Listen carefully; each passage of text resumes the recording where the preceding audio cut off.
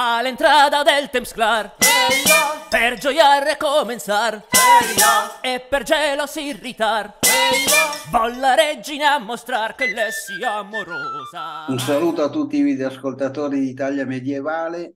Oggi presentiamo un bel saggio intitolato Oltre il visibile, introduzione allo studio della pittura alto medievale, appena pubblicato da Bonanno Editore, di Giancarlo Germanà Bozza, che abbiamo il piacere e l'onore di avere nostro gradito ospite e al quale, come mia abitudine, io lascio subito la parola perché ci parli di questo interessante volume.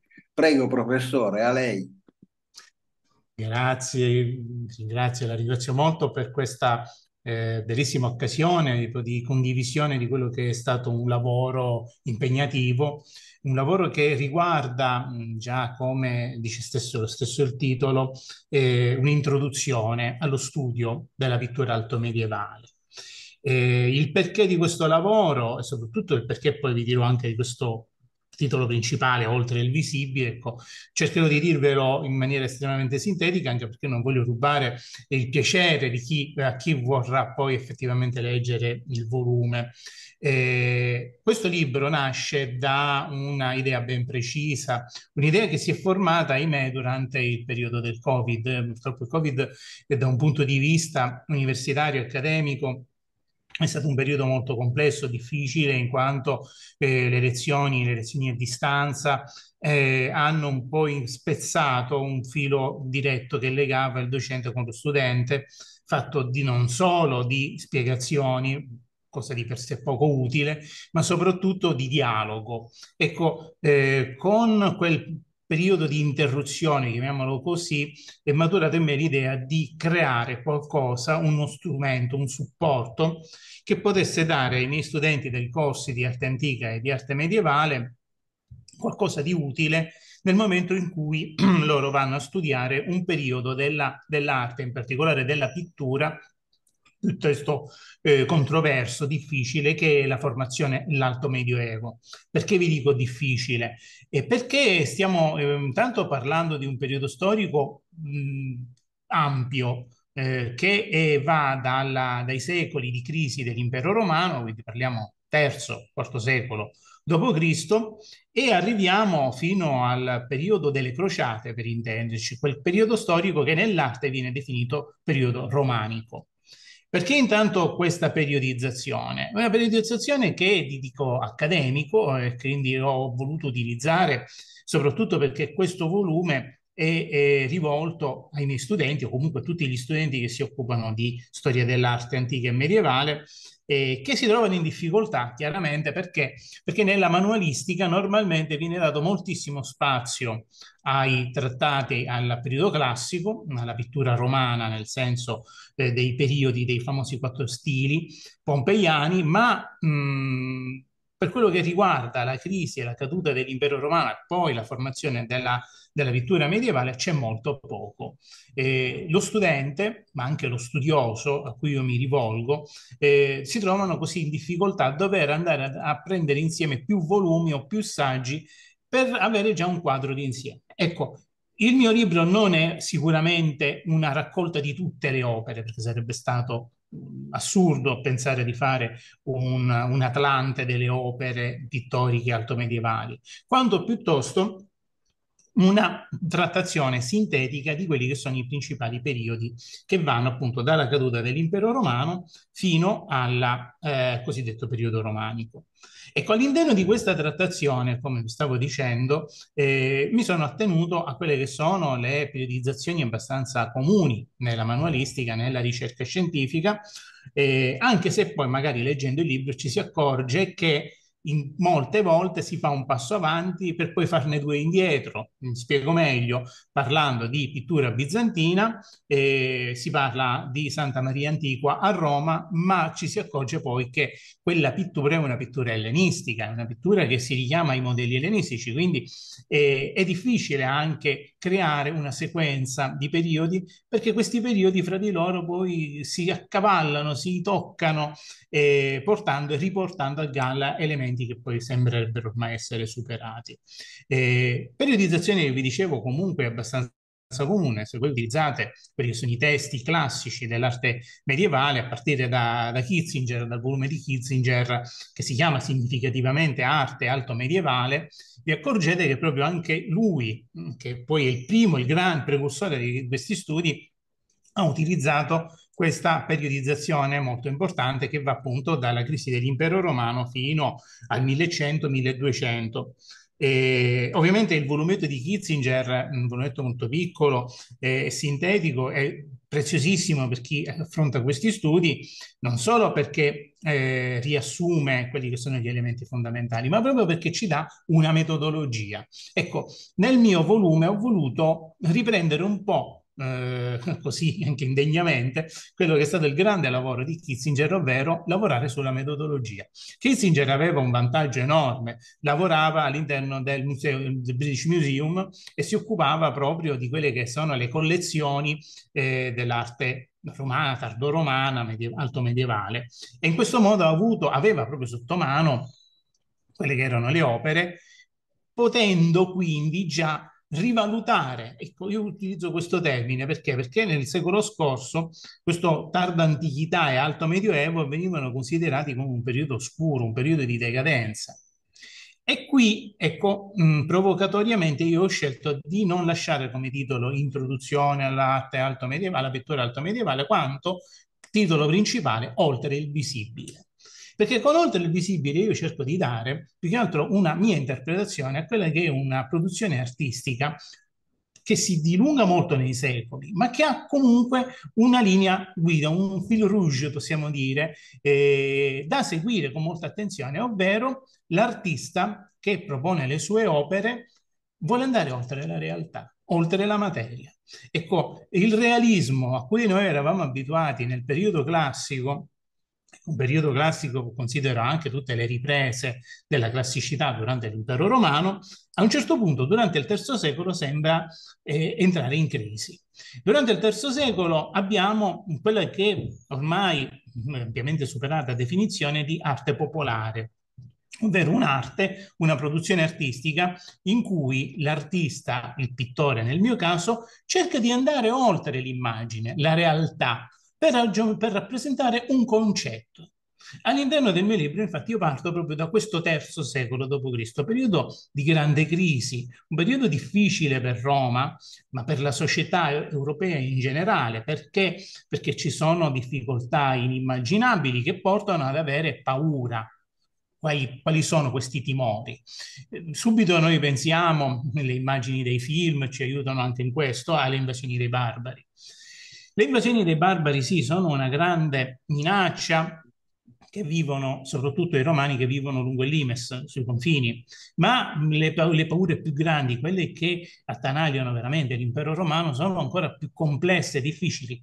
Quella più immediata che possiamo pensare durante l'impero di Marco Aurelio si abbatte sull'Europa, sull'impero romano, eh, una sciagura terribile che è la peste, una grandissima epidemia di peste che eh, devasta tantissime province svuotandole di abitanti.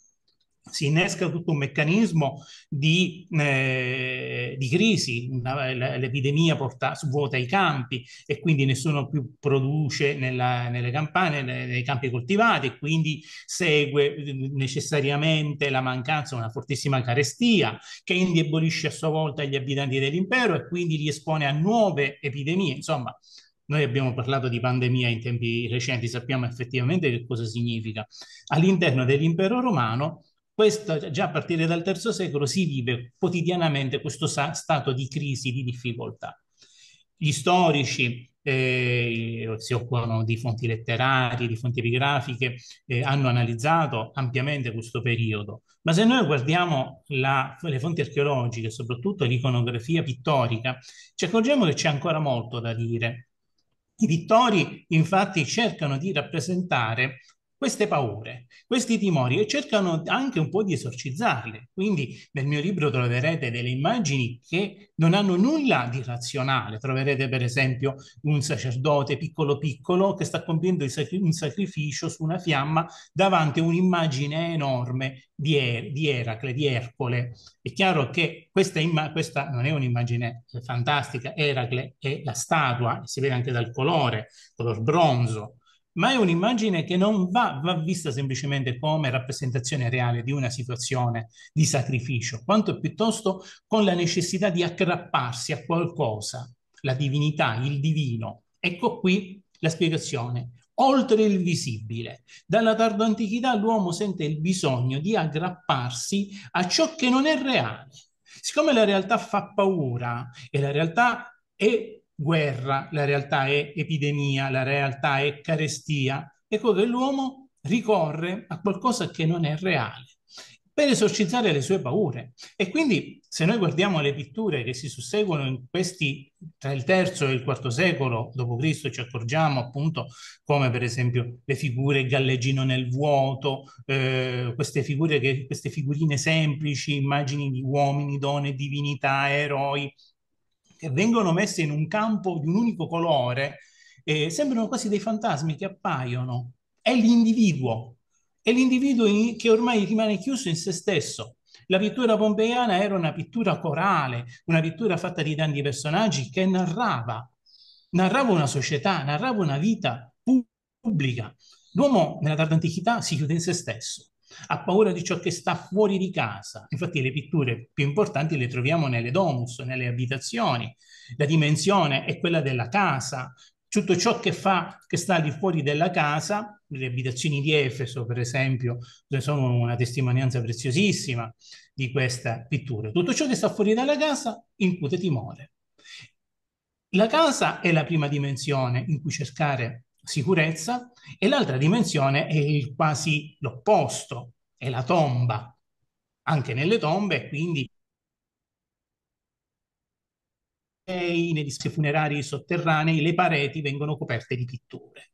E lì poi ora entreremo un po' in un discorso molto più complesso, perché questa società che ha paura e ha paura della, eh, soprattutto dello sconosciuto, di ciò che non si può prevedere, ha paura della guerra, ha paura della morte, di una morte che arriva all'improvviso, un'invasione, un attacco di un, di un nemico imprevisto, un'epidemia, una carestia, cerca qualcosa che possa dare conforto, ma soprattutto possa dare una eh, sicurezza. In tutta questa situazione di grandi incertezze, solo una cosa può essere certa, può dare conforto, sapere che comunque se la morte è inevitabile per tutti, c'è qualcosa dopo la morte. Ecco, il terzo secolo, terzo, quarto secolo, sono periodi in cui si affermano anche le dottrine di salvezza, i misteri religiosi che arrivano dall'Oriente quella definizione ex oriente lux che io nel libro utilizzo frequentemente e che ritorna nella pittura. Dall'Oriente arrivano le grandi religioni, il culto di Iside, il culto di Mitera e soprattutto quello che poi nel tempo avrà il sopravvento, ovvero la religione cristiana. Tutte queste dottrine richiedono necessariamente all'interno dei luoghi di culto le pitture. Ecco, una parte consistente del mio lavoro è dedicata proprio a queste dottrine. Il miteraismo io lo tocco perché ragiono sulle pitture all'interno dei santuari di Mitera, ragiono anche su determinate pitture all'interno di sepolture che potrebbero fare pensare a degli iniziati, ma ovviamente io mi concentro molto sulla pittura cristiana. O meglio, utilizziamo un termine comune la pittura paleocristiana, ovvero della formazione della dottrina cristiana. E qui tra la fine del terzo e il quarto secolo c'è molto su cui ragionare, perché questa dottrina cristiana prima vive in clandestinità e quindi non si può proporre a un pubblico apertamente delle immagini, è vietato, anzi chi veniva scoperto a dipingere, a rappresentare immagini cristiane immediatamente veniva denunciato e processato per essere cristiano, dissidente, ribelle alle leggi di Roma. Eh, I cristiani lavorano in ombra, nascosti, e per questo la pittura cristiana ha delle origini è una pittura insicura, fatta da mani che fanno, la fanno per un proprio talento ma non certo per avere dei, fatto degli studi di pittura. La pittura ufficiale è una pittura pagana. Per noi questo è molto importante. Anzi, proprio qui de, nel mio libro metto proprio la chiave di passaggio che poi ci permetterà di capire l'arte, l'arte alto medievale. Perché questa, quest'arte fatta di simboli che solo i pochi iniziati possono capire è sta alla base di un'arte, di una iconografia fatta di motivi simbolici. Ci accorgeremo infatti nei primi secoli del Medioevo che il simbolo è, diventa un elemento imprescindibile nella produzione artistica. Il pittore deve ragionare attraverso i simboli. Lo farà ancora nei secoli successivi, quando ormai l'arte la religione cristiana è una religione ufficiale, non più perseguitata, ma lo fa a maggior ragione quando è perseguitata, perché è un insieme di simboli, un insieme di simboli nascosti. L'arte ufficiale, e con arte ufficiale intendo dire proprio eh, la società romana, pagana, non era in grado di capire, di comprendere determinati elementi simbolici e quindi nella catacomba in cui è rappresentato, per esempio, un cesto di pani sopra un pesce, si, chi la vedeva non avrebbe avuto subito un'idea di che cosa si trattava. E così il pesce, ictus, l'acronimo o anche alfa e omega, tutti elementi che ai pagani sfuggivano, non, non, sapevano di che cosa si trattava, ma nello stesso tempo erano elementi facili da rappresentare, che non richiedevano una particolare eh, preparazione.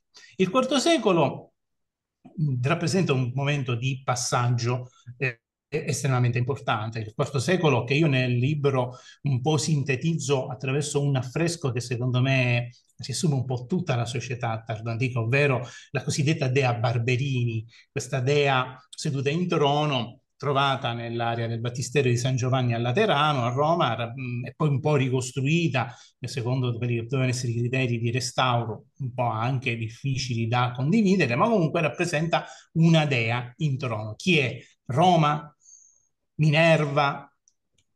Non ci interessa dire effettivamente chi fosse, sappiamo comunque che è un momento in cui Roma deve molto alla sua tradizione, ma nello stesso tempo vive una forte contraddizione, perché queste nuove dottrine religiose, in particolare quella cristiana, la costringono ad andare oltre. Io faccio un accenno veloce, non essendo un trattato di storia, la questione della statua della Vittoria Lata all'interno del Senato che viene fatta togliere a un certo punto perché la, la religione ufficiale è quella cristiana e questo, questo dibattito alimenterà molto eh, gli scritti mh, soprattutto dei Simmachi, dei Nicomachi come pagani, ma anche dei, di Sant'Ambrogio, insomma ci sarà tutta una questione di un dibattito molto forte perché Roma Roma ha due anime e queste due anime ritornano nella pittura.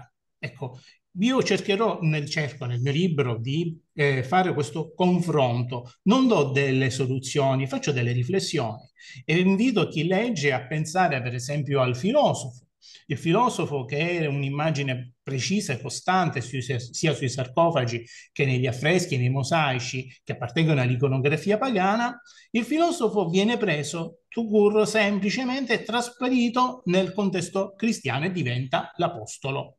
L'uomo con la toga, la barba lunga, i capelli canuti, lo sguardo mh, perso nel vuoto, da filosofo diventa apostolo. Lo stesso eh beh, San Paolo, San Pietro, più complessa poi è l'immagine di Cristo, su cui io mi soffermo un po' di più, perché Cristo in un primo momento viene rappresentato giovane, apollineo. Perché? Perché l'immagine, ecco, l'immagine nella tardo antichità, che poi ci introdurrà gli elementi dell'alto medioevo, l'immagine è tutto. Teniamo presente una cosa che è, non è di secondaria importanza, che nella tardo antichità, così come nei primi secoli del medioevo e anche ancora dopo, la società era fatta soprattutto da gente che non era in grado di leggere, né tantomeno scrivere. L'immagine era un veicolo eccezionale di comunicazione. Chi vedeva l'apostolo lo individuava subito, indipendentemente se c'era o meno scritto il nome vicino. Ecco che queste immagini eh, diventano elemento di studio, di analisi, a partire quindi da questi secoli dell'Alto Medioevo non è tutto così lineare, non è tutto così semplice. Io nel libro metto anche dei casi particolari, gli affreschi delle catacombe di Via Dino Compagni, delle catacombe dell'Ipogeo, di via Dino Compagni a Roma, comple situazioni complesse in cui in un ipogeo, in un fatto da pitture eh, di ambito cristiano, tratte dal Vecchio e dal Nuovo Testamento, e a un certo punto in, alcuni, in, una, in una zona di cui alcuni cubicoli presentano tutte le fatiche di Ercole. Oppure presentano un'immagine celebre, ovvero il medico o il maestro che con una bacchetta indica le parti anatomiche di un, su un corpo sezionato messo ai piedi ed è circondato dai suoi allievi. Cosa strana per una per un ipogeo che doveva essere cristiano. E allora ragionare eh, sulla società tardo-antica da questo punto di vista è, è, abbastanza complicato. Le pitture diventano una fonte, una fonte preziosa, perché dicono quello che le fonti letterarie non dicono, non arrivano a dire, perché non, non, o non possono dire o non vogliono dire questa eh, condivisione, cioè questo bisogno di convivere che c'è fra cristiani e pagani, solo le pitture le possono dire la situazione poi si squilibrerà in maniera definitiva alla fine del IV secolo e, e assistiamo a, anche a violenze spaventose. Eh, Alessandria, per esempio, sappiamo di quegli scontri che portarono alla morte violenta di questi pagani perseguitati da una maggioranza cristiana che non li accetta più. Tutto questo le pitture noi le possiamo utilizzare come momento di passaggio, di transizione, ma anche di formazione perché nella tardo antichità, quindi con la caduta dell'impero romano, si forma questo repertorio iconografico che poi passa alla, all'alto medioevo. Se io guardo velocemente fra alcune immagini presenti nelle catacombe, mi accorgo che trovo il banchetto eucaristico, la cosiddetta agape funeraria, che diventerà poi il modello per l'ultima cena. E altre immagini significative possono essere eh, l'adorazione dei magi, momenti del Nuovo, Test- del Nuovo Testamento, quindi scene del Vangelo, che si formano in maniera molto semplice. Se voi guardate, per esempio, l'adorazione dei magi nelle catacombe di Priscilla a Roma, sono immagini semplicissime, sono le silhouette dei personaggi di queste tre figurine di tre colori diverse che avanzano verso una donna seduta con un bambino in braccio. Di una semplicità assoluta. Ma perché? Perché è una pittura del terzo secolo l'ha fatto un fedele, un cristiano che vive in clandestinità, non l'ha fatto un grande pittore, non l'ha fatto un maestro, ma qualcuno che ha, vo- ha voluto sfidare se stesso e, e, e, disegnare, dipingere sulla tomba questa immagine. E la pittura, la pittura alto medievale nasce così, spontanea, fatta di eh, bisogno, bisogno di comunicare. Nelle catacombe cristiane emergono queste immagini. Beh, abbiamo le figure degli oranti, dei, del, dei, defunti che vengono messi e rappresentati con le braccia aperte in segno di preghiera e fra questi oranti, per esempio, c'è una giovane donna con un bambino in braccio nel cimitero Maius a Roma eh, che viene interpretata anche come la Madonna con Gesù, in bambino, Gesù bambino in braccio. Ecco, interpretazioni che a volte ecco, anche, sono anche complesse, difficili da capire perché noi eh, quelle chiavi di lettura non ce le abbiamo sempre. O peggio, abbiamo più chiavi di lettura e quindi ci, ci manca la parola definitiva per poter dare una visione precisa. Nel, ma nel mio libro io non voglio dare delle parole conclusive, anche perché l'arte antica, come anche l'arte alto medievale, eh, richiedono uno sforzo innanzitutto di studio notevole, perché bisogna ragionare come chi guardava e chi vedeva quelle opere. E soprattutto bisogna essere pronti a degli aggiornamenti, dei cambiamenti dettati anche da nuove scoperte. La pittura, infatti, dei secoli successivi alla caduta dell'impero romano è una pittura eh, sfuggente, innanzitutto sfuggente nel vero senso della parola. Perché? Perché nei secoli successivi, quindi a partire poi dopo l'anno 1000, quindi tra il 1200 e il 1300, molte chiese eh, monasteri furono ristrutturati, modificati, quindi le pitture più antiche sono state cancellate, sono andate perse.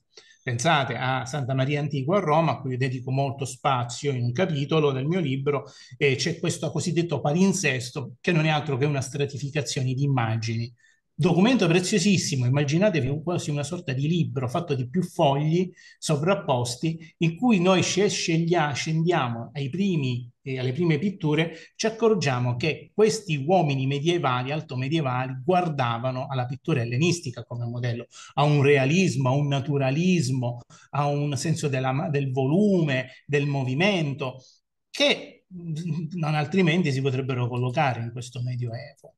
Eh, nel, nel, mio libro poi ovviamente dedico lo spazio necessario a quello che è grande, la grande frattura, la caduta dell'impero romano d'Occidente, la nascita di Bisanzio, l'arte bizantina e quello che è poi un percorso fatto eh, di grandi opere e di opere un po' meno note, questo, da questo punto di vista io ho preferito dividere due capitoli, nel senso che da una parte ho analizzato l'arte bizantina nella sua evoluzione, e soprattutto eh, con la cesura della questione dell'iconoclastia che cambia profondamente l'arte bizantina, e dall'altro in un capitolo a parte ho voluto analizzare la pittura bizantina in Occidente, perché questi artisti bizantini che si spostano in Occidente, un po' chiamati su commissione, Pensate ai sovrani normanni che chiamano gli artisti bizantini, per, in particolare i mosaicisti, per le loro chiese, Monreale, Cefalù, Palermo, eh, ma soprattutto ci sono anche i monaci, i monaci che portano dall'Oriente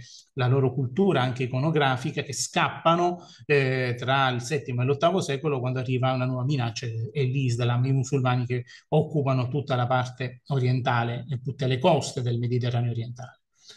Questa arte bizantina arriva da noi, entra in contatto con l'Occidente e in questo conflitto, in questo, contra, eh, questo contatto è fatto anche di elementi conflittuali.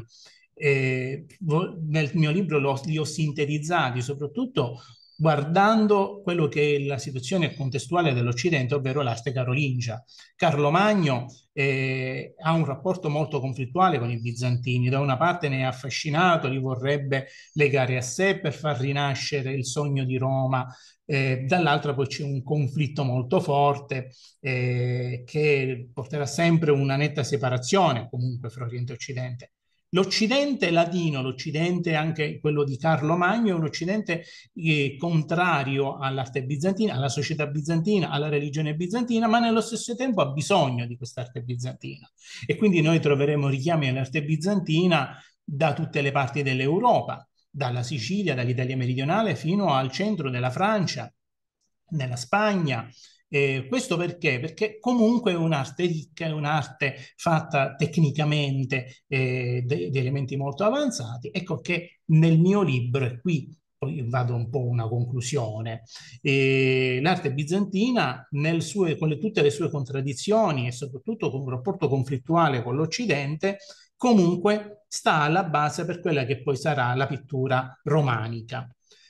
La pittura romanica è l'ultimo periodo che io analizzo, eh, periodo che è anche complesso da studiare, perché è anche uno dei motivi per cui ho lavorato a questo libro, in quanto normalmente nei trattati, nei volumi di storia dell'arte medievale, quando si parla di romanico si parla di architettura, si parla molto di scultura ovviamente, ma si parla pochissimo di pittura, perché la pittura è eh, qualcosa di estremamente eh, limitato numericamente proprio per le questioni che vi dicevo, ovvero le fasi più antiche vengono cancellate da quelle successive, eh, ci sono ristru ristrutturazioni dei monumenti, danneggiamenti, rimane molto poco.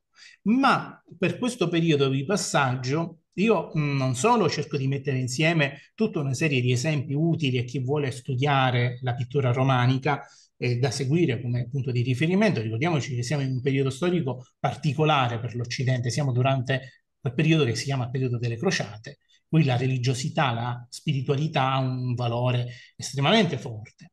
Eh, ma da un punto di vista tecnico, ecco, nel mio testo cerco anche di fare un'ultima riflessione, eh, che è di natura proprio squisitamente appunto tecnica, ovvero l'arte, la pittura che dalla tarda antichità ha ricevuto in eredità tutta una serie di elementi, elementi simbolici, contenutistici, iconografici.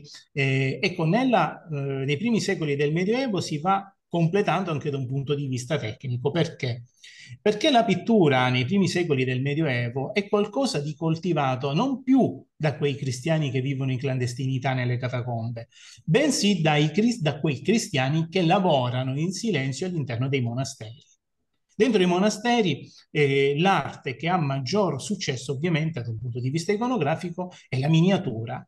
Questi monaci emanuensi che ricopiano e ci conservano i volumi della classicità, patrimonio enorme che se no si sarebbe distrutto, sarebbe andato perso, questi monaci eh, arricchivano i volumi di miniature. Le miniature non sono altro che pitture piccoli capolavori che erano messi all'interno del volume. Noi non conosciamo i nomi di questi monaci perché erano votati all'umiltà, non, non, si firmava chi eh, copiava una Bibbia o chi copiava un, un, un testo di un padre della Chiesa ma meno che meno si firmava chi andava a copiare un testo classico, uno storico greco, uno storico romano, un filosofo lavoravano nella, eh, nell'ombra dentro queste biblioteche, negli, nello scriptorium. Però questi monaci creavano anche delle immagini. Le immagini le rappresentavano su carta. Ecco, io voglio chiudere questa mia mh, presentazione del libro con quest'ultima riflessione che è molto importante, ovvero nel momento in cui la pittura deve rinascere, e quindi chiamo per farlo di primo rinascimento, il 200, il merito è soprattutto di questi monaci, essenzialmente di questi monaci, che hanno conservato la capacità di dipingere, di utilizzare quel repertorio di simboli della tardo antichità e che cosa fanno? O si avventurano a dipingere le pareti e quindi fanno degli affreschi, delle pitture parietali, ma soprattutto si rivolgono a quello che è il materiale più umile, il legno. Il legno è qualcosa di semplice, di facile da avere. Prendono delle tavole di legno, le tagliano a seconda di ciò che vogliono realizzare, soprattutto le croci, quindi le vengono sagomate, unite fra di loro queste tavole di legno e vanno a dipingere. Ma attenzione, non dipingono direttamente sul legno come si potrebbe pensare. No, dipingono su un foglio di carta pergamena che applicano sul legno. Perché? Ma perché sono i monaci abituati a, a dipingere le miniature a dipingere su carta, che a un certo punto debbono fare questo passaggio e dipingere su superfici più grandi. Non lo fanno subito, lo faranno progressivamente, aiutandosi con questo supporto che è la carta pergamena e aiutandosi anche con un linguaggio fatto di simboli, di un'arte che doveva comunicare concetti complicati, difficili, il peccato, la salvezza, la redenzione, cosa c'è dopo la morte, il rapporto con il divino, tutte le cose che se scritte avrebbero richiesto centinaia, migliaia di pagine su cui scrivono filosofi, teologi dell'Alto Medioevo, ma nello stesso tempo ci sono queste immagini, immagini che sintetizzano. Eh, stiamo attenti però, queste immagini non dovevano solo insegnare, perché se no li troveremo soltanto nelle chiese frequentate dai laici. Invece le immagini c'erano anche nei monasteri, nei chiostri, dove andavano, dove giravano i monaci letterati, capaci di leggere e scrivere. E quindi che cosa significa? Che non imparavano guardando le immagini, ma venivano ammoniti, ammonire eh, e, e ricordare ciò che è il modello della santità, della sacralità attraverso sempre l'immagine. L'immagine è concettuale, l'immagine deve comunicare e il comunicare è fondamentale. Se pensiamo che nel, eh, tra il 1000, alla fine del 1000 e il 1100 partono partono i giovani di un'aristocrazia europea eh, votata alla conquista, al cambiamento e alla rivoluzione, ovvero quei crucesignati, ovvero i crociati, che portano di dietro questo bagaglio di immagini, se li riportano dove? In Oriente. C'è un ritorno ex Oriente Lux, da cui ero partito all'inizio. Le crociate riporteranno in Oriente dei modelli iconografici. Il mio libro finisce proprio qui queste immagini, questi modelli iconografici che erano arrivati dall'Oriente, passano attraverso l'Occidente, vengono recepiti e rielaborati e ritornano in Oriente, creando ulteriori commistioni e rendendo l'arte alto medievale affascinante, complessa, difficile e concettuale. Diciamo che è un'arte che si avvicina molto al nostro contemporaneo, dove non è tanto la tecnica essere importante, quanto piuttosto l'idea che vuole esprimere l'artista. E penso di avere parlato anche abbastanza. Grazie. Grazie professore, davvero molto interessante. Potremmo stare ore a parlare di questi argomenti perché sono molto affascinanti. Io a questo punto però ricordo il titolo del libro così si corre in libreria e lo si fa proprio per scoprirne pagina dopo pagina tutti gli insegnamenti. E il titolo è Oltre il visibile, introduzione allo studio della pittura alto medievale, appena pubblicato da Bonanno Editore, scritto da Giancarlo Germana Bozza, che abbiamo avuto il grande piacere di avere nostro gradito ospite, che io ringrazio tantissimo mentre a tutti voi ricordo di continuare a seguirci sul nostro canale YouTube dove ritrovate tutte le video presentazioni realizzate fino ad ora. Grazie ancora professore. Grazie, grazie a lei, grazie a tutti voi che mi avete ascoltato. All'entrata del Temsclar Eia, Per gioiare comenzar. Eia, E per gelos irritar. Eia, Vol la regina a mostrar che le sia amorosa. Alla via, alla via, gelos, la senos, la senos, bala, entre nos, entre nos. E la fight per tot mandar. Non si aggiusca alla mar. Più se l'anni bacialar